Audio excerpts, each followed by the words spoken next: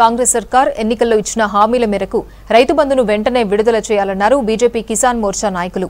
కొత్త ప్రభుత్వం రాగానే డిసెంబర్ తొమ్మిదిన సోనియా గాంధీ బర్త్డే సందర్భంగా రైతులకు చేస్తామన్న రెండు లక్షల రుణమాఫీ ఎప్పుడు చేస్తారో చెప్పాలని ప్రశ్నించారు. ప్రభుత్వం వెంటనే స్పందించి రైతుల ఖాతాల్లో రైతు బంధు వేయాలని కోరుతూ వ్యవసాయ కమిషనర్కు వినతిపత్రం అందజేశారు. కార్యక్రమంలో బీజేపీ కిసాన్ మోర్చా రాష్ట్ర నాయకులు పాల్గొన్నారు.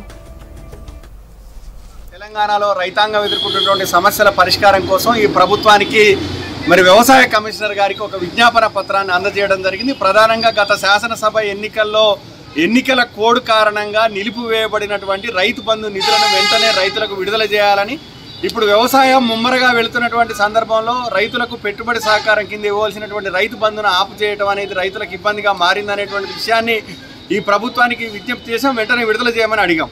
అదేవిధంగా డిసెంబర్ తొమ్మిది సోనియా గాంధీ గారి జన్మదినాన్ని పురస్కరించుకొని మరి రెండు లక్షల రూపాయల లోపు వ్యవసాయ రుణాన్ని బేషరతుగా మాఫీ చేస్తానని చెప్పి నాటి ప్రతిపక్షంలో ఉన్నటువంటి నేటి ముఖ్యమంత్రిగా ఉన్నటువంటి రేవంత్ రెడ్డి గారు చేసినటువంటి హామీని కూడా వారికి గుర్తు చేసేటువంటి ప్రయత్నం చేస్తున్నాం. రైతులందరి తరపున ఆ దిశగా అడుగులు వేయాలని ఈ ప్రభుత్వానికి భారతీయ జనతా పార్టీ కిసాన్ మోర్చా తరపున